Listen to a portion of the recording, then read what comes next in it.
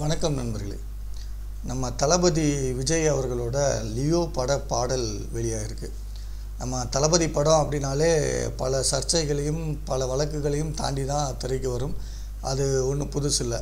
ஆனால் இப்போ இந்த தடவை வந்து கொஞ்சம் பழைய விஷயத்தையே மறுபடியும் தூசி தட்டி புதுசாக கொண்டு வந்திருக்காங்க.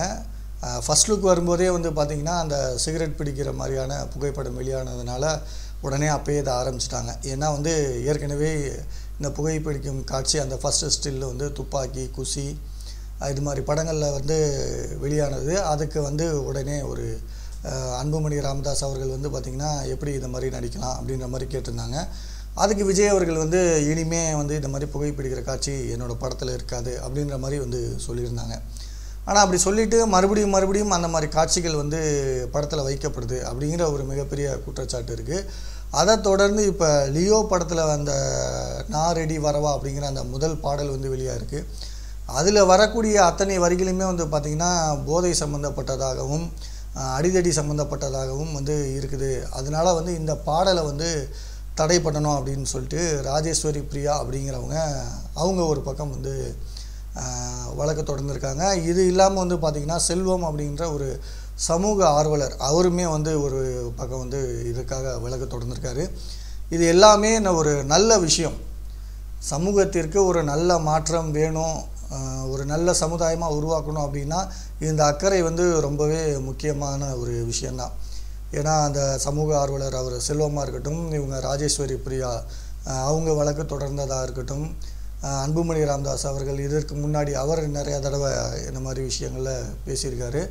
இவங்க எல்லாருமே வந்து சொன்ன விஷயங்கள் அவங்களோட அக்கறை எல்லாமே நியாயமான விஷயந்தான் சமூகத்துக்கு தேவையான விஷயந்தான் ஆனால் அதை யாருக்கிட்ட எங்கே காட்டுறது அப்படிங்கிற ஒரு மிக முக்கியமான ஒரு விஷயம் இருக்குது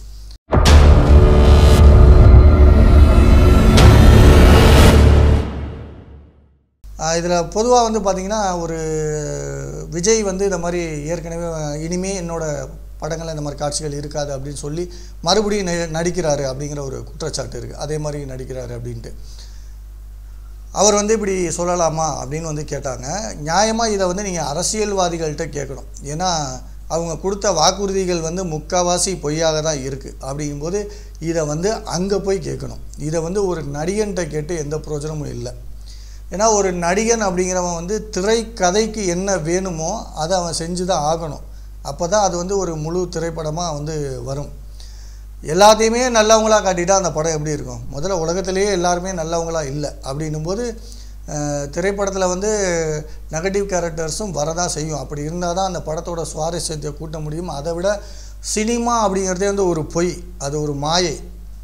நம்மளோட ஒரு பொழுதுபோக்குக்காக கண்டுபிடிக்கப்பட்டது தான் சினிமா அப்படின்னும்போது சினிமாவில் காட்டுற அத்தனை விஷயங்களும் உண்மை இல்லை அப்படிங்கிற நம்ம எல்லாத்துக்குமே தெரியும். இப்போ படத்தில் வந்து விஜய் சமந்தாவை லவ் பண்ணுறாரு நயன்தாராவை லவ் பண்ணுறாருனா உண்மையாலுமே லவ் பண்ணுறாருன்னு அர்த்தமா? ஒருத்தனை கொலை பண்ணுறாரு அப்படின்னா உண்மையாலுமே கொலை பண்ணுறாருன்னு அர்த்தமா? ஒருத்தனை தூக்கி போட்டு மிதிக்கிறாரு அப்படின்னா அவர் உண்மையாலுமே மிதிக்கிறாருன்னு அர்த்தமா? இதெல்லாம் போய் நமக்கு தெரிஞ்சியும். தெரிஞ்சு தான் நம்ம அதை பார்க்குறோம்.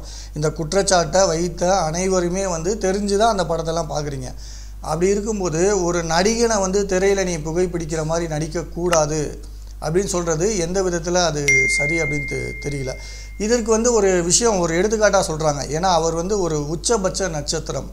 அப்படி இருக்கும்போது அவர் வந்து இந்த மாதிரி காரியங்களை செஞ்சால் அதை பார்த்து வந்து பிள்ளைகள் கெட்டு போயிடுவாங்க அப்படின்னு. தளபதி அவர்கள் வந்து பார்த்திங்கன்னா எவ்வளவோ நல்ல விஷயங்களை படத்தில் காட்டியிருக்காங்க. அது எல்லாத்தையும் வந்து எல்லாரும் ஃபாலோ பண்ணிட்டாங்களா? இல்லை இதுக்கு முன்னாடி வந்து பார்த்திங்கன்னா மாஸ்டர்னு ஒரு ப ஒரு படம் வந்து ரிலீஸ் ஆச்சு. அந்த மாஸ்டர் படத்தில் வந்து பார்த்திங்கன்னா தளபதி அவர்கள் வந்து குடிக்கிறவராக தான் நடிச்சிருப்பார். ஆனால் அதோட முடிவு என்ன அப்படிங்கிறது அங்கே விஷயம். ஒரு குடியால் தான் அவர் தன்னோட வாழ்க்கையை இழக்கிறாரு. அவர் குடியால் வந்து ஒரு பொறுப்பு இல்லாமல் போனனால இரண்டு உயிர்கள் போகுது அப்படிங்கிறத புரிஞ்சுக்கிறாரு. ஒரு குடி வந்து ஒரு மனிதனை எந்த அளவுக்கு கொண்டு போகும் அப்படிங்கிற ஒரு விஷயத்தை காட்டியிருப்பாங்க. அடுத்து அது எல்லாத்தையுமே இவர் வந்து அழிக்கிற மாதிரியான காட்சிகள் தான். இப்போ எந்த ஒரு டைரக்டரோட படத்துக்கு வந்து வழக்கு தொடர்ந்துருக்காங்களோ இதே டைரக்டரோட படம் தான் அதுவும்.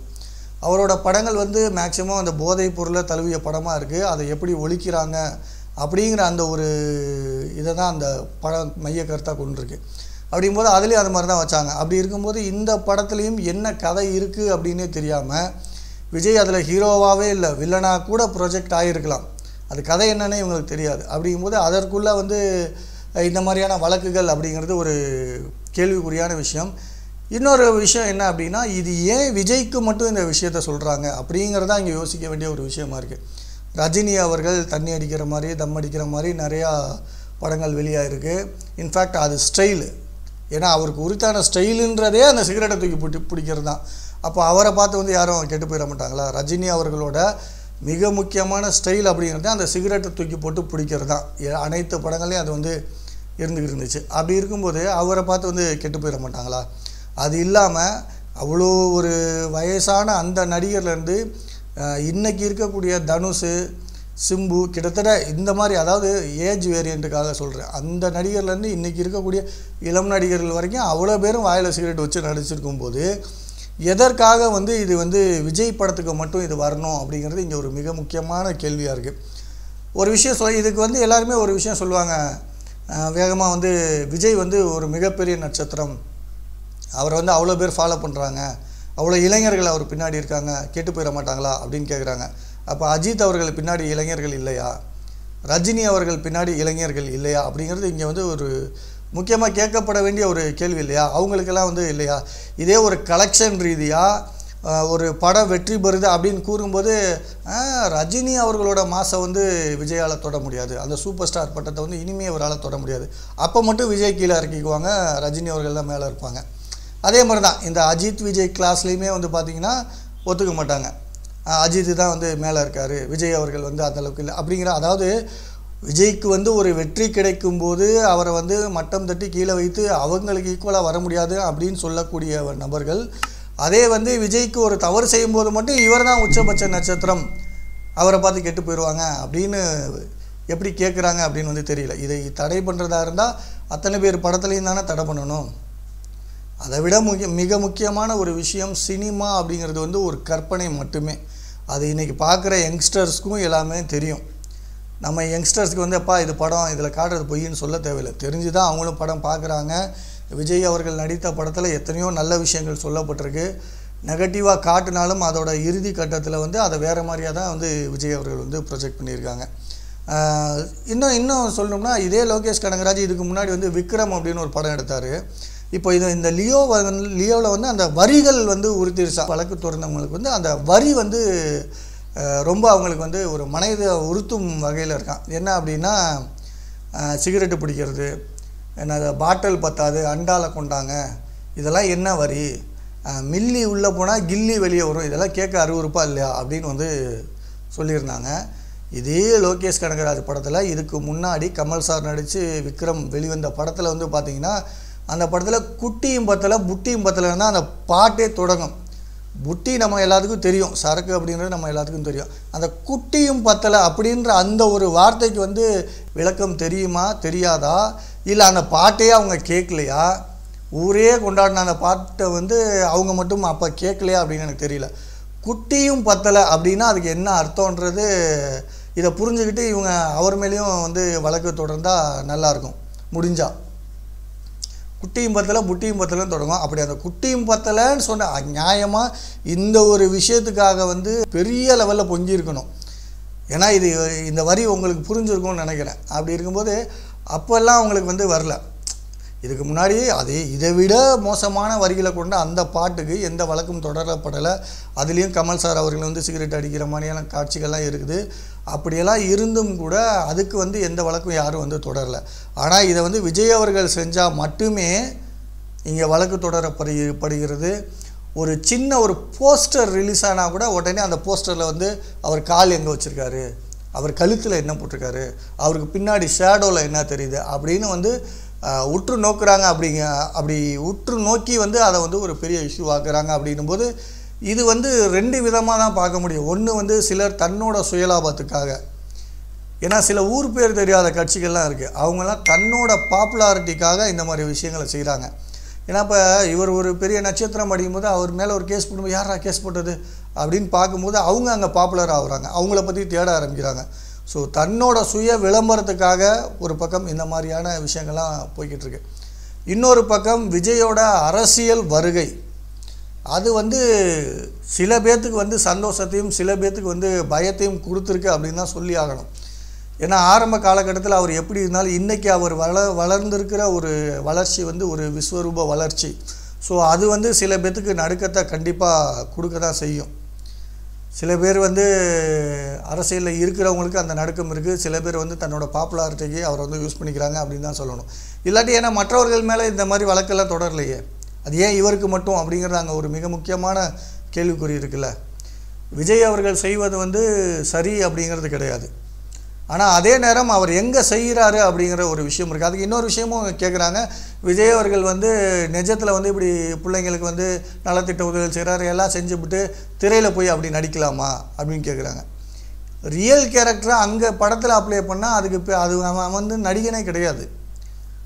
தன்னோட கேரக்டரை மிஞ்சி அவனால் வந்து அவன் ஏற்றுக்கிற ஒவ்வொரு கதாபாத்திரத்தையும் அதற்கு தகுந்தாற் போல் அவன் நடித்தாதான் நடிகன். ரியல் கேரக்டர் இங்கே இருக்கிறத அங்கே வந்து அப்படியே ப்ரொஜெக்ட் பண்ண முடியாது. அப்படின்னும் போது கதைக்கு தேவையான விஷயங்களை தான் அவர் நடிக்க முடியும். கதைக்கு தேவையான விஷயங்களை தான் வந்து அவர் நடிக்கிறார் அப்படின்னும் போது இந்த மாதிரியான காட்சிகள் படத்துக்கு தேவை அப்படிங்கும்போது அவங்க வைக்கிறாங்க. அதை பார்க்க சென்சார் போர்டு இருக்குது நிறைய விஷயங்கள் இருக்குது இவங்க ஒருத்தர் தான் வந்து சொல்லணும் அப்படின்றது கிடையாது. அதுவும் இல்லாமல் இன்றைக்கி இருக்கக்கூடிய இளைஞர்களும் தெளிவாக தான் இருக்காங்க. இதை விட மிக முக்கியமான விஷயம் என்ன அப்படின்னா இந்த தண்ணி அடிக்கிறது சிகரெட்டு பிடிக்கிறது இதெல்லாம் வந்து நீங்கள் கேட்க வேண்டிய இடம் இதை தயாரிக்கிற இடம். இதை வந்து அப்ரூவல் பண்ண கவர்மெண்ட்டுக்கிட்ட போய் கேட்கணும். ஒயின் ஷாப்பை க்ளோஸ் பண்ண சொல்லுங்கள் அதாவது எரியறத பிடுங்கினா கொதிக்கிறது தானாக அடங்கிடும்னு சொல்லுவாங்க. அந்த மாதிரி வந்து வெளிவர இடத்த நிறுத்திட்டா அதுக்கப்புறம் இதெல்லாம் இங்கே நடக்க போகிறதே இல்லையே. அதை வந்து நிறுத்துறதுக்கு உங்களுக்கு சக்தி இருக்கா அப்படிங்கிறது தான் இங்கே கேள்வி. இந்த சமூக அக்கறை கொண்டவர்கள் ஏன் வந்து இந்த மாதிரியான விஷயத்தில் நீங்கள் வந்து போய் நீங்கள் நேரடியாக நீங்கள் வந்து ஆக்சுவலாக விஜய் அவர்கள்ட்ட இந்த கேள்வியெல்லாம் கேட்கக்கூடாது. நீங்கள் முன்னாடி வந்து இந்த மாதிரி சொன்னீங்க இப்போ திருப்பி இப்படி நடிக்கிறீங்க அப்படின்னு சொல்லி. அவர் வாக்குறுதி கொடுத்தது பொய்யாகிறத விட அரசியல்வாதிகள் கொடுத்த வாக்குறுதி தான் நீ பொய்யாட்டிருக்கு. நீங்கள் இதெல்லாம் வந்து அங்கே தான் கேட்கணும்.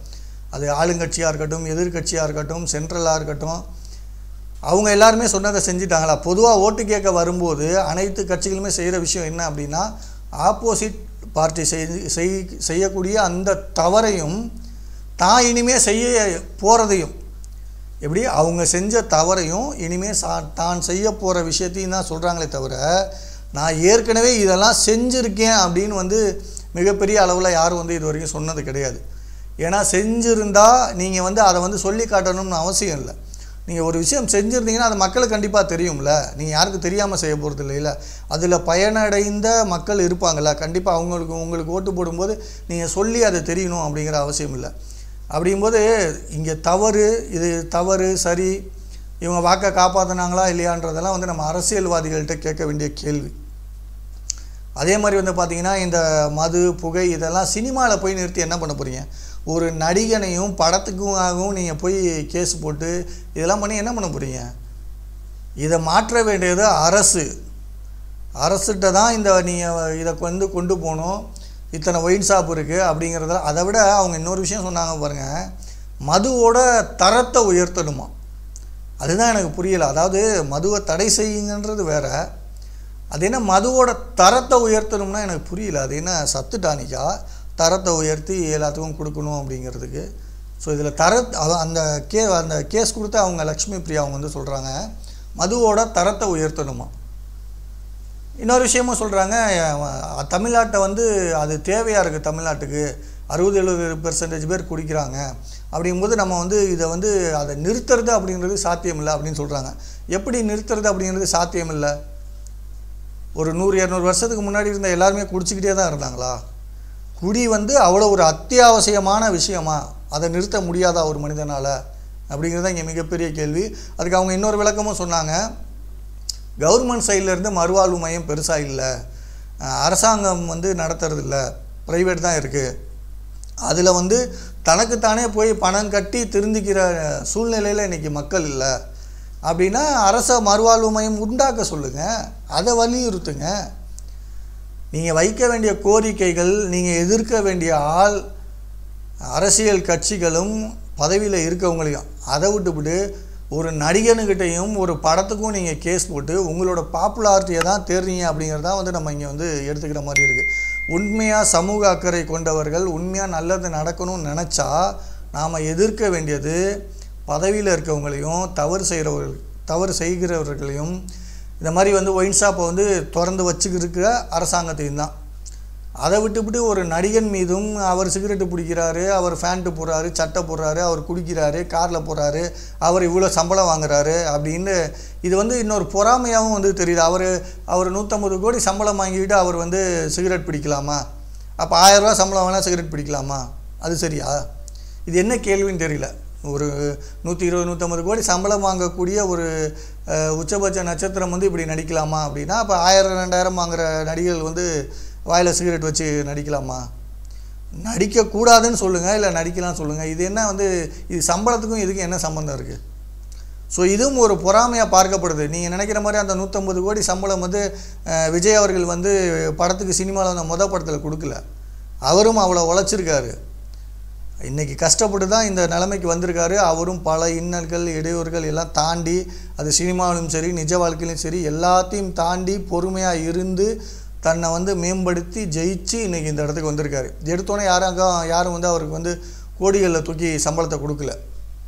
ஸோ அது அவரோட உழைப்புக்கு கிடைச்ச ஒரு வெகுமானம். இன்றைக்கி நிறைய நடிகர்கள் அது மாதிரி சம்பளம் வாங்குறாங்க. அதெல்லாம் அவங்க உழைப்புக்கு கிடைக்கிறது. அப்படிங்கும்போது இவ்வளோ சம்பளம் வாங்குறாரு அவ்வளோ சம்பளம் வாங்குறாருன்னா அதில் வந்து எந்த ஒரு பிரோஜனமும் கிடையாது. ஒரு படம் ரிலீஸ் ஆகி அதில் வந்து ஒரு தவறான காட்சிகள் இடம்பெறுது. சமூக அக்கறை இல்லாமல் சில விஷயங்கள் காட்டப்படுது.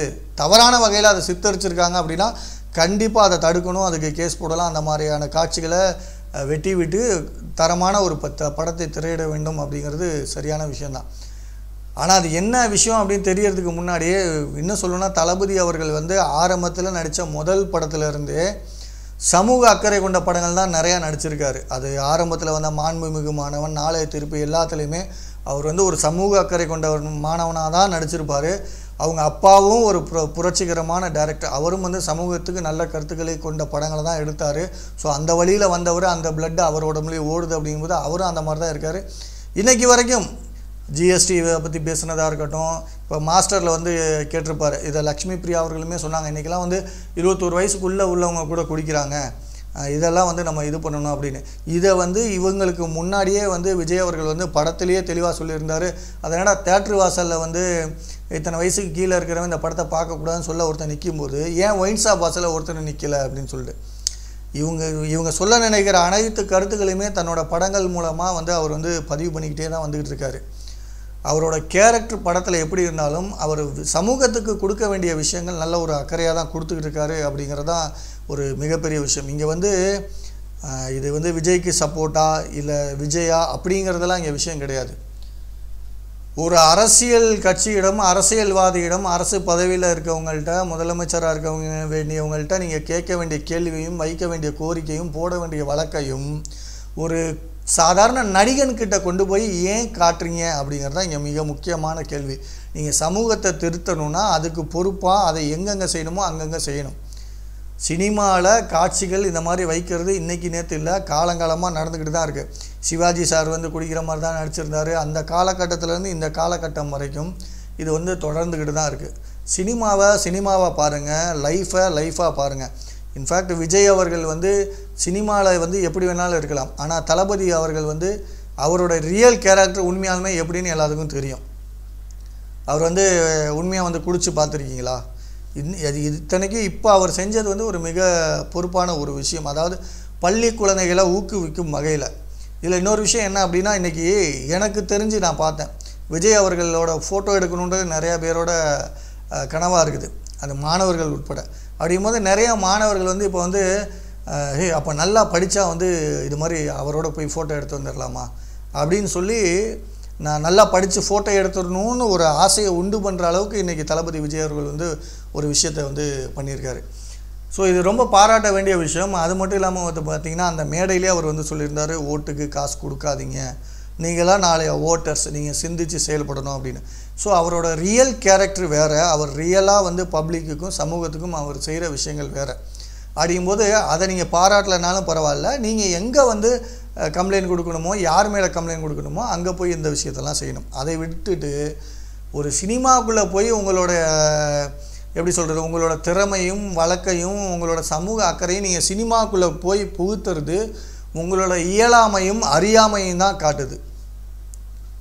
இது வந்து வெட்ட வெளிச்சமாக தெரியுது. உங்களோட இயலாமையும் உங்களோட அறியாமையும் தான் வந்து ஒரு சினிமாவில் போய் நீங்கள் ஃபோக்கஸ் பண்ணிக்கிறீங்க. நீங்கள் ஃபோக்கஸ் பண்ண வேண்டிய இடமே வேறு அப்படிங்கிறது தான் இங்கே உண்மையாக நம்ம தெரிஞ்சுக்க வேண்டிய விஷயம்.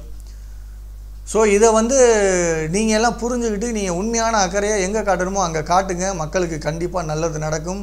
விஜய் அவர்கள் அரசியலுக்கு கண்டிப்பாக வருவார் அப்படிங்கிற அளவுக்கு எல்லா அனைத்து விஷயங்களும் நடந்துக்கிட்டு வந்ததுக்கப்புறம் பார்ப்போம் அவரோட சமூக அக்கறை எப்படி இருக்குது அவர் எப்படி உள்ளே வர போகிறாரு என்ன செய்ய போகிறாரு அப்படிங்கிறத நம்ம ரியல் லைஃப்பில் பார்ப்போம். அதை விட்டு சினிமாவில் அவர் என்ன பண்ணுறாருன்னு பார்த்து ஒரு பிரோஜனமும் கிடையாது. அவர் குடிக்கிறாரு தண்ணி அடிக்கிறாரு ரெண்டு பேர்த்த லவ் பண்ணுறாரு வில்லனை கொலை பண்ணுறாரு இல்லை இவ்வளோ இவரே வந்து வில்லனாக இருக்காரு அப்படிங்கிறதெல்லாம் அது சினிமா. சினிமா விட்டு வெளியே வாங்க முதல்ல. சினிமாவுக்குள்ளே போய் உங்களோட அறிவையும் ஏன்னா உங்களோட திறமையும் புகுத்தாதீங்க அப்படிங்கிறது தான் என்னுடைய தாழ்மையான கருத்து. இதை பற்றின உங்களோட கருத்துக்கள் என்ன அப்படிங்கிறதையும் வந்து கீழே கமெண்ட்டில் சொல்லுங்கள் உங்களுடைய தனிப்பட்ட விருப்பங்களையும் சொல்லுங்கள் இந்த வீடியோ பார்க்குற அத்தனை பேரையும் தெரிஞ்சுக்க தெரிஞ்சுக்கட்டும். இந்த பதிவினை பார்த்து கொண்டிருந்த அனைவருக்கும் நன்றி.